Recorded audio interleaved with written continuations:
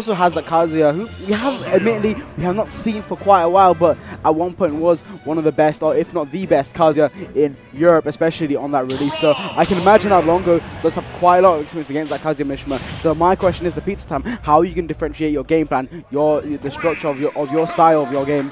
Now, the, the, last, the, last, time I watched Pizza Time was uh, Last Invasion, mm. and I saw him actually do some really, really custom stuff with the character. Mm. So it shows that he's got like an adept knowledge of the kit, and the arsenal laid out before him. And I'm interested to see how he uses it. Is, are we going to be seeing the regular bread and butters, or is he going to have to feel out neutral a little bit more? And this start is already quite yeah. telling. Longo with 82%. Pizza Time hasn't found a chance to get a hit, and here it goes. It begins. Actually begins indeed, and we're going to see trying to land the F smash, but you know on that platform you can't really extend it like that with the F smash. Very, very unfortunate. But he's got the Rage Drive on deck here now. Oh, boom! And that's going to be it. P oh, no, no. But I mean, we've got, remember, you know, Rob got that big body, but also that massive weight too. A little reversal, you know, comes but all the way back from the ledge with a back air to close out Pete Sam's first stock. Yes, sir. Longo is showing that he's not something to forget. There's the, oh, the oh strongest, the strongest reflector in the game. You have to acknowledge it. If Pizza Sam is on the other side of the stage and you have fully charged laser, you both know what he wants. Don't play into it. Play around it. That's absolutely mental, Daleks. Holy crap. The fact that the timing you really need for that as well, because it's such a massive hitbox, especially the big version of that laser, to be able to reflect that is truly takes some skill. As we can see, Pizza Time trying to carry on all the way to the corner here, but Longo's managed to find a way out. Got the gyro in hand. Oh no, the gyro, Alex, bro. The gyro. It, yeah, it just sets up into anything and everything Longo could possibly desire, and the fear factor of it being there allowed uh, Longo to go into a grab, which obviously converted into more and more stuff. But Pizza Time landing that solid hit, showing off the armor, but it's just not enough. Longo takes that back air, sends it flying, and Pizza Time drops to the last stock of the first game. That's absolutely crazy. The way Longo is able to convert off all of these hits, right, and absolutely crazy, crazy things going on here for Longo right now. He just he's really I, I, really love how he's suffocating um, Pizza Sam's airspace here. You know, constantly in his area. Oh my god, and, and like harassing him with that forward elbows. Beautiful, beautiful mm -hmm. stuff. Longo's controlling space really, really well, knowing Kazuya's burst ranges and just staying outside of it, mm. and not letting him get off electrics, not letting him toss out those haphazard kicks, and instead beating him around his own his own threat range. But for now, Pizza Time takes Longo to that even stock count. This very could spell disaster, though.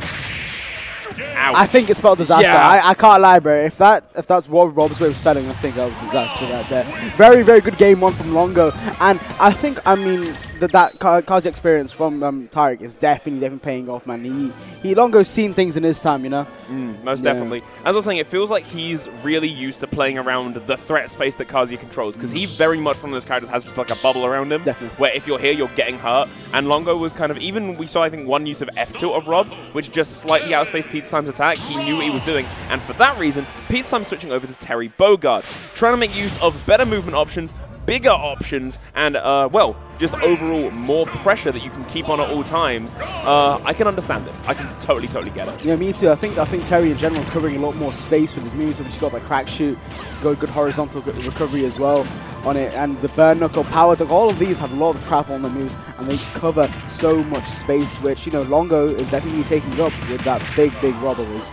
Not to mention just a way better jump squat. Uh, straight from the word go, we saw him jump over a gyro and a laser. Uh, obviously, Kazuya it has got a really weird jump squat where he takes, an, he takes a while to get off the ground, mm. whereas Pete Sam can jump over something, get in, get 61%. Yeah. And it just keeps going. Even the recovery, if Longo isn't ready for it, the, the damage just piles up. Yeah, most definitely so, man. Like, off a parry, he converted off into so much damage. And once again, using that crack shoot to cover the space of that central, central platform there. But there we go, getting grabbed. And we can see the up head. Please, DI. And he got the DI check ready on lock, Alex, bro. Yeah, this time you aren't dying, but you are going to be taking that second back air. You can just toss it out. It's safe. It kills. It does everything you could possibly want and more. Longo is in a very comfy spot as well because you are now more than happy to zone because that reflector is gone, baby. It's off the table. It's definitely so, and uh, I can't lie, Pizza Time's going to have to work a lot more because now that go yeah, is gone, like you said, bro.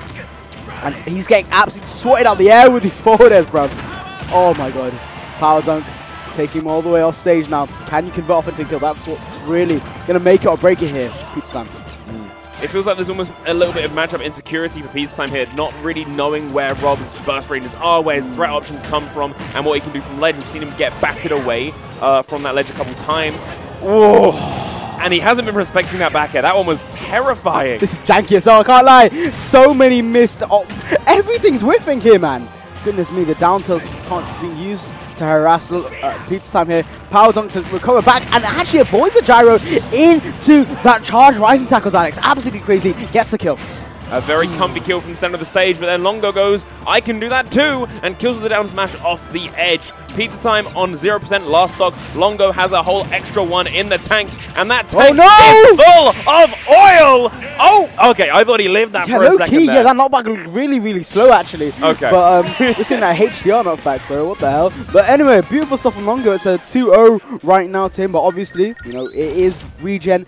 Everything is first to three, best out of five people. Ever since pools, bro. eh? Mm-hmm. Imagine that, but what an amazing, amazing event we have here at Team Regen GG.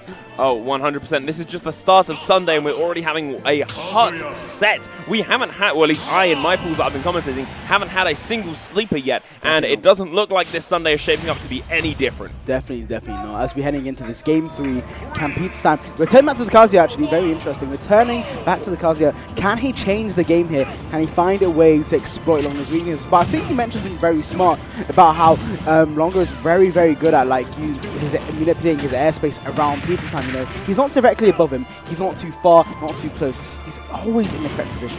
Mm, most definitely. Pizza Time has to work out what these ways in are. Longo is more than happy to just run away, exploit the options that Pizza Time can use, but is a little bit hesitant to. There you go, coming in with Nair after Nair. Pizza Time just can't do a thing about it. It's looking kind of scary. Most definitely so, man.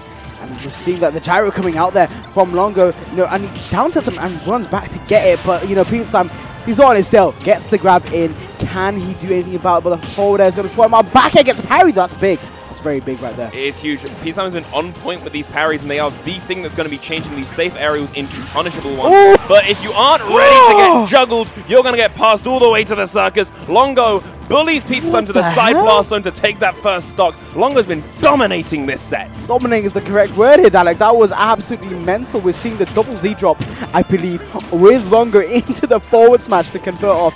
Absolutely mental. And, you know, it's just, bro, what the hell? Is he in a circus? The guy is juggling right now, bro. Falling up air on Rob, you don't see it too often, I don't think, but like Longo was very clearly ready to just capitalize on anything. Here we go, Pizza Time Um. has his time in, but misses the first set, doesn't get the lock on the platform, and it's Longo's time to play the game. Oh my god, it definitely is, man. And I can't lie, if he can't land here, he does get the landing, but it was looking very, very scary indeed, man. I just, yeah, Pete's just whipping all these moves, that electric hitting that shield, or ba- just barely missing anyway.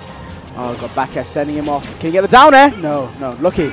Big fan of Pizza Time using the laser in the air there to try and stall out the time, trying to... What the...